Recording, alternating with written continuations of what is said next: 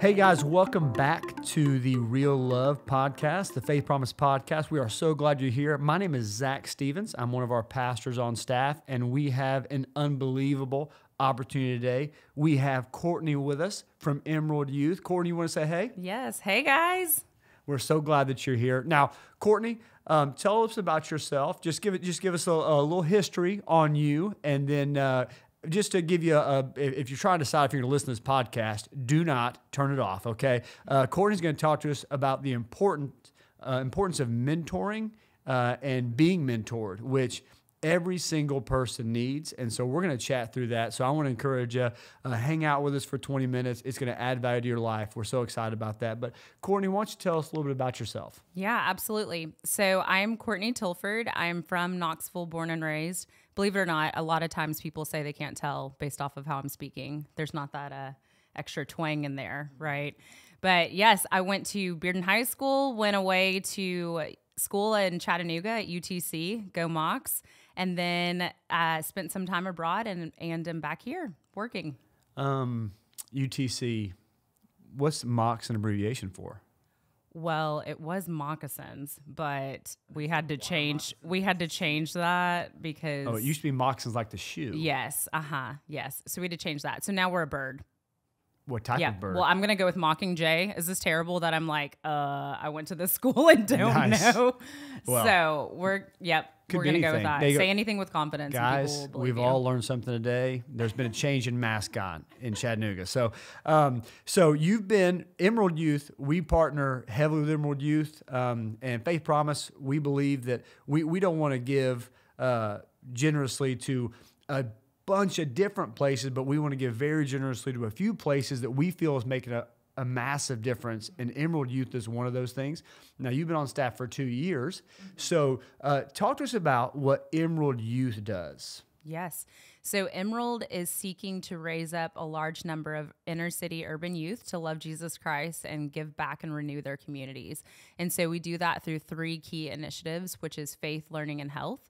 And so we are really, with the help of volunteers in the community and our staff, we are seeking to pour into uh, the lives of young people. And so we are also, yes, you guys have been partners with us for a long time, not only just um, a financial support, but there are many members of your church that serve as volunteers in different areas. And we are just so incredibly grateful. We truly cannot do the work we do without you guys. So oh, appreciate we, you. We so believe in what you do. And I'm excited because we talked to you. Hey, what, what do you feel?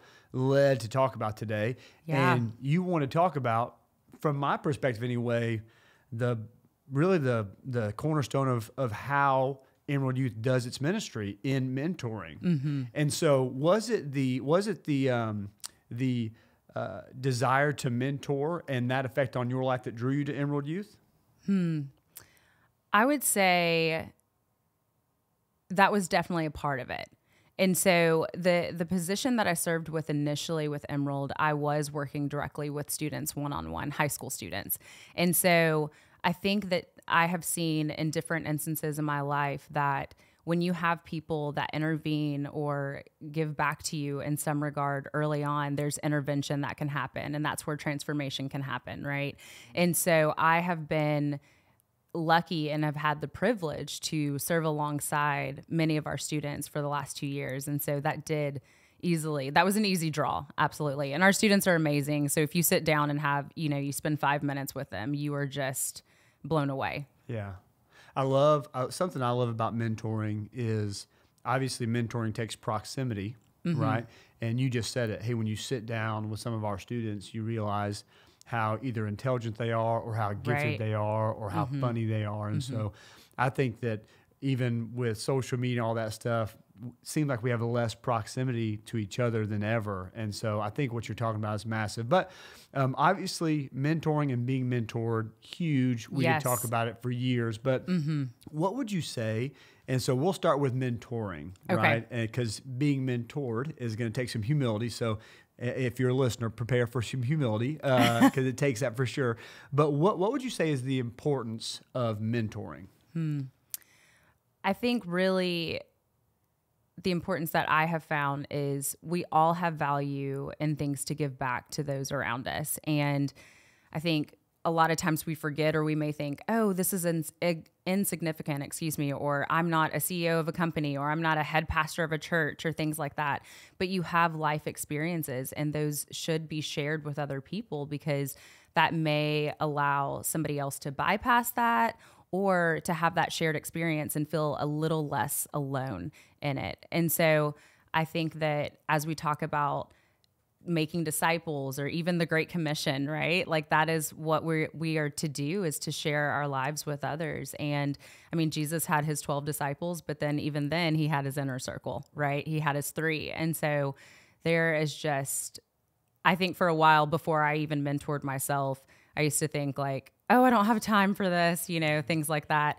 But there there's just such an importance and you make time. I mean, you're just sharing life. You're doing life with another person. Definitely. And we make time for the things that are important. Absolutely. For sure. Absolutely. Yeah. And mm-hmm. so, and th- there's a guy, Carey Nieuwhof, he has a new book. Uh, it's called At Your Best. And I realized I was convicted of something that I always say in there. So I'm, I'm i feel busy. And so, they're like, hey, you should mentor, you should have a group or something like that. And it's like, well, I'm in a busy season. Right. And you're like, well, you're not really in a busy season. You just made these choices. Mm-hmm. And so it's not a busy season. It, it's really what you've created. And so mm-hmm. I think that's huge. And so you, you talked about a little bit, but for anybody who is like, uh, concerned or scared about mentoring, whether they're yes. talking about starting a group at Faith Promise or mentoring with Emerald Youth, because um, they don't have all the answers. Mm-hmm. You know, what mm-hmm. would you mm-hmm. tell that person? Yeah. We are perfectly imperfect. and no one is asking for you to be perfect. And i think that is also the beauty of mentoring is just vulnerability and transparency. And i have a, I serve as a mentor to a young lady who is a sophomore at ut and she has seen me at my best and my worst. And i would say all of that is valuable for her to see you know? There's no facade there's no mask that I have up. And so I think even if you feel ill equipped or unqualified, you aren't. I feel like that's what makes you qualified, right? right? Yeah. That's so good. I, I, love that. And so you actually said, I'm, I'm sure uh, we'll talk about some stats about this towards the end, but uh, you talked about loneliness. Mm-hmm. I feel like that, like loneliness and depression, especially like we're not post COVID. We're right. still very still much in it, in it right? Mm-hmm. Um, but I feel like loneliness is something that the enemy is so using mm-hmm. to attack people. And so, um, uh, what? How have you seen? Just because you you work with students, or at least in in that vein, how have you seen loneliness affecting? Um, I mean, you could talk about society at large, but especially this generation coming up. Yeah, I think you know I've heard even more so, and there's a stat out there too that I don't know off the top of my head, but it talks about how um, we are the most connected in this day and age, and yet this generation, you know, our generation um, of millennials, and then the generation after us, you know, is like the most depressed and anxious generation that we've we've seen, and so that's wild to me. Um, but I have seen that very to be very true with our students a lot of times, even though they're you know going to school and they see some some friends or maybe they're at home uh, doing online schooling because of covid and things like that. But there is this immense loneliness and a longing for connection or to be seen or to be known or heard. And i think a lot of times they act out of that even and maybe how they express it. They don't know how to express it express it excuse me in like a healthy way. And so they are jumping to the internet or to other things that they believe are going to provide a sense of comfort and a sense of hope. Yeah, no, I love that. And, you know, uh, right now in, in our culture and stuff like that, there's a bit of a apprehension potentially towards church or towards Jesus. And yeah, um, I personally, I'm okay with that. Um, I don't love it, but I'm okay with it because mm-hmm.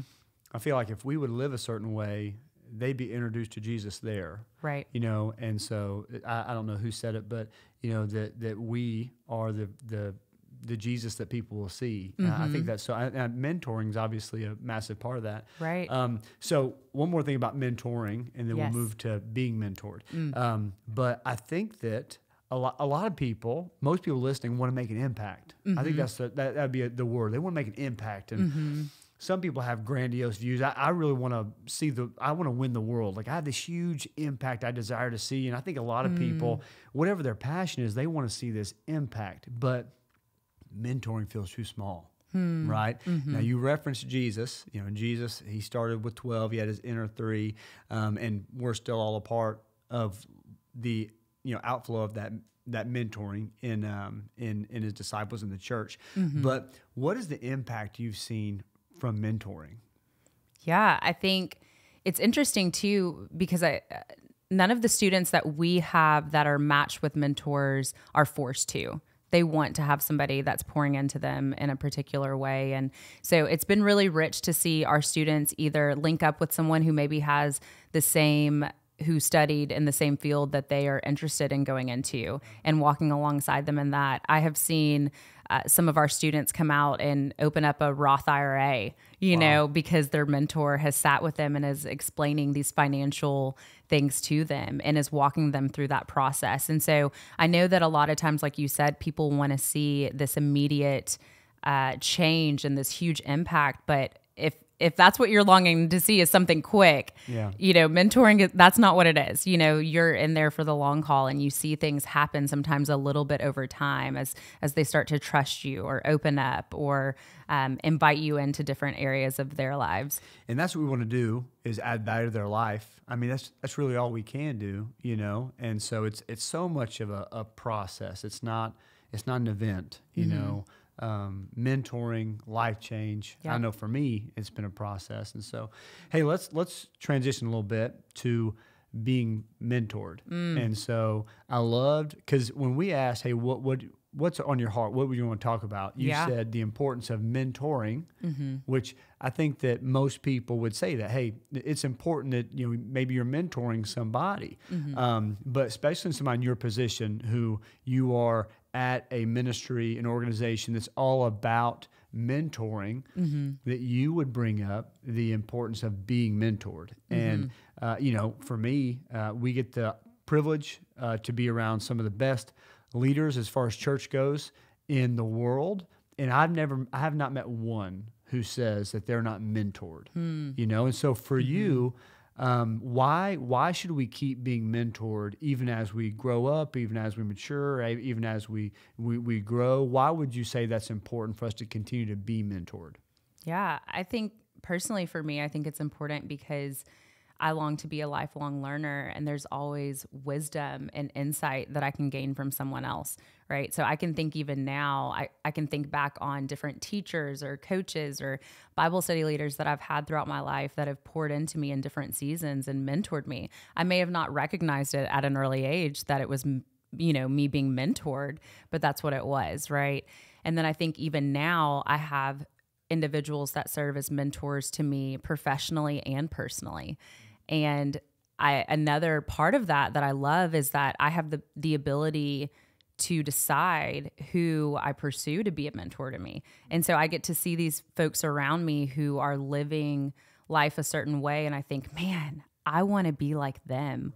Or, wow, I want to learn from them. And so I get to then, you know, invite them into my life and to speak into me. And uh, that's a vulnerable, transparent, like place to be, right? To invite somebody in. And I may not love everything they have to say. Like, let's be honest. Like, true, authentic mentoring might be like, hey, let's talk about that for a second, Oh, you yeah. know, and let's pause for a moment. But that is that is good and needed for me, and I want to continue to grow and and to be like Christ and to love and serve those around me. And so that is why I seek out mentors. I love that. I love some of the things you said there. First of all, you talked about the humility of inviting people into your life, you know, and then uh, again another layer of humility and then vulnerability of being honest with them. Right. And um, and so and I have another question for you about it, but I was just processing while you were while you were talking there.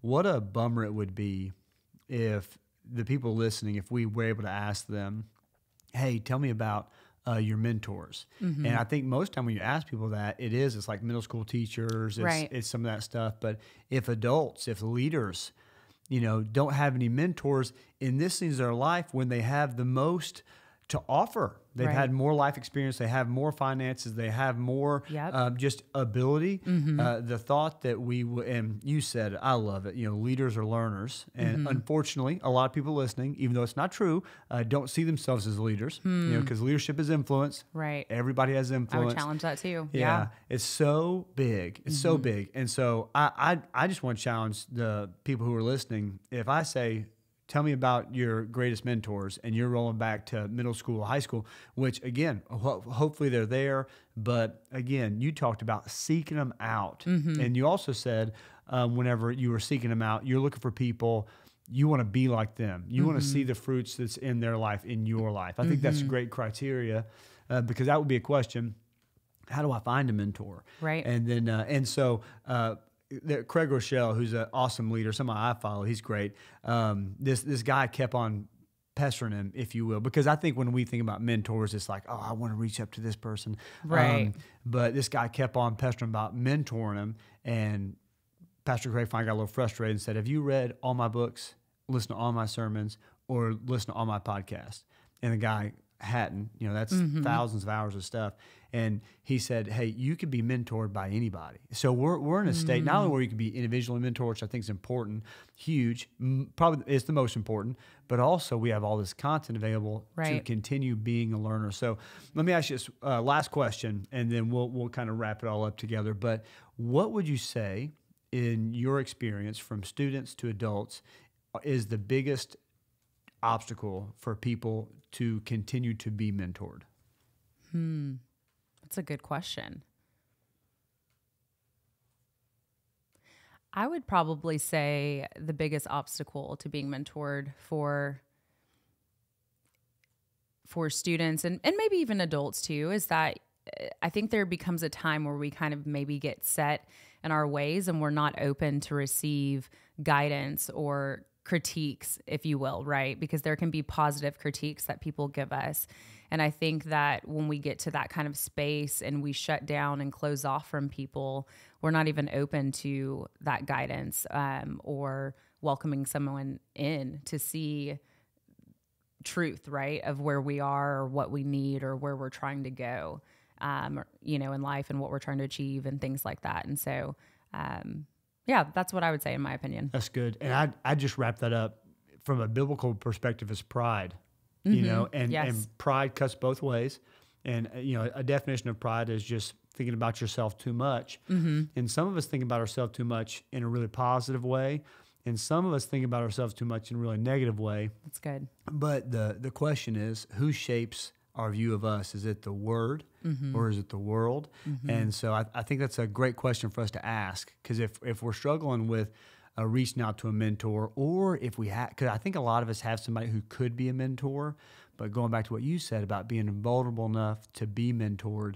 I think is it's there's such intentionality there, right? And we we've gotten to where we're such consumers you know that if it doesn't come to me if it doesn't doesn't pursue me then i'm i'm just not going to do it and Right. uh, and we just th- there'll be a day where we're held accountable for what we did or didn't do and i just i don't think it's possible to reach our full potential without being mentored That's you know? And so and uh, jesus even describes his relationship with the father why he's here as as being mentored. And so it, it's just a it again the well is so deep and we're super grateful for your time but as we wrap up together guys. Drew, are there any loose ends that we left out there for us to wrap up together? I wouldn't call them loose ends. A couple of interesting things that, that uh, Courtney was talking about, uh, and you were talking about, Pastor Zac, with loneliness. So obviously, uh, loneliness has actually been growing for Generation Z, uh, Gen Z, uh, shorthand called there, um, on a rating scale that they did recently for a study, uh, rated 48 uh, out of a scale of 100, uh, as opposed to uh, wh- who you would think would be the most lonely, the elderly, 72 and older. Uh, they only rated a 39. What that basically means is is that uh, Gen Z is more lonely. It's that the most connected yet the mo- the least connected. Um, and why that's a huge problem. Cigna, who's a global insurer and health services company, did a study on this. What they found out was because obviously they're doing insurance, loneliness actually has the same effect on mortality as smoking 15 cigarettes a day. Um, and in 2020, there were 93,000 opioid deaths in the United States. It's the highest in history. Um, and so, reasons to mentor, um, if that doesn't get you out of bed, um, you know, literally saves lives. Young adults also with mentor, 55% less likely to skip a day of school, 78% more likely to volunteer regularly. Listen to this one. If you mentor a student or a young person, they are 90% more likely to become a mentor themselves. So you literally multiply yourself just by doing it. 130% more likely to hold leadership positions. Um, I love statistics that are over 100% because it makes it seem huge. Um, but there's some other crazy things. Uh, Fortune 500 companies, 71% of Fortune 500 companies have mentoring programs. 97% of people who are in them say they're valuable, but only 37% of people are in them, which is crazy because uh, one out of every four person who's mentored sees a salary grade change as opposed to only uh, one out of 20 um, if they're not mentored. Um, people who are mentored are promoted five times more than those without mentors. So if you're if you're listening and you're looking for someone, if you're looking for a reason to be mentored, to get over that pride, get over yourself, opportunity abounds. 89% of people with mentors believe their colleagues value their work more. Um, you literally feel more valued if you have uh, a mentor. So those are just incredible things. You can actually go check out emeraldyouth.org uh, and get backslash, or I'm sorry, forward slash get involved. There's a couple of ways donate, become. But I didn't want to leave without us resolving one of the bigger issues of the podcast, which is Scrappy Mock and and and the University of Tennessee. So the mascot is Scrappy Mock. He is actually was first seen in 1997. He's a northern mockingbird, which is the state bird of Tennessee, and he was named after legendary former Chattanooga football coach AC quote Scrappy Moore. So the Scrappy Mocks. Yes, University Mockingbird, Mockingjay. I was Tennessee, close. I appreciate you. So there you go, Yeah. Courtney. Thanks for clearing that Yeah, up. that's that's for everybody. We would rather Mockingjay. Who's not a Hunger Games? I was thinking that's what I was like. Maybe the Hunger Games was just on my mind. Totally with you. Yeah. nice. Hey, I would I would suggest because this is what I'll do. I would you know hit that you know that backwards 15 number a couple of times and listen to those stats again. Those are significant, um, and the potential that you have to change somebody's life is significant. And anything that tells you otherwise, I would suggest, isn't uh, statistically sound, uh, but it's also not biblically sound. And so, um, hey, Courtney, uh, really one of the things I want to make sure we did today is let you know how proud we are of you, and what a what an honor it is to partner with what you're doing. And a lot of times at, Faith Promise, we talk about being generous, and we'll we'll tell a story from Emerald Youth. But we're huge believers in leaders here, and so to sit with a leader from Emerald Youth who who you know you you started there by sitting with students um, and now you're you're you're over donor development you know you're a young woman young leader over donor development and we're, we're we deeply desire to see a revival to see real people with real problems experience god's real love and so we think we call it the eroi the eternal return on investment in you in Mr. Steve Diggs and in Emerald Youth is so worth it. And so we can't really articulate our gratitude for your ministry. And so what we'll keep on doing is show you our belief by uh, supporting what you guys do so that uh, something as silly as money isn't a constraint for the life changing ministry that you do.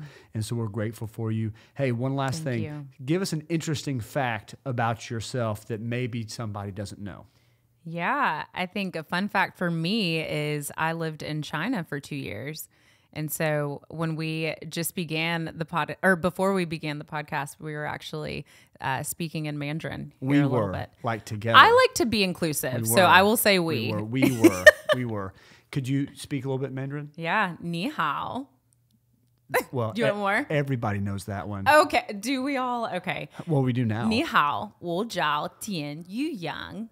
Could you do it in a slightly lower register so I could take credit for it? Ni hao. Wo. Okay. Tian Yu Yang. Okay. You couldn't. I have like sounded- this- I like this yeah, Yeah. I, I feel like that was, That was uh, That was- little little. That was actually there. that was actually Pastor Zac talking. That was not Courtney. You know what, the let the, record state. What I'll say is maybe Chattanooga's, uh, you know, mascot isn't the Mockingjay, but I think Courtney's might be. Okay, so no, hey, uh, we love you, Courtney. We love Thank Emerald you, Youth. We're proud of you. We're so grateful for you, and we'll keep on winning the world together. Let's do uh, it. Faith Promise, we love you. We believe in you. Have a great week.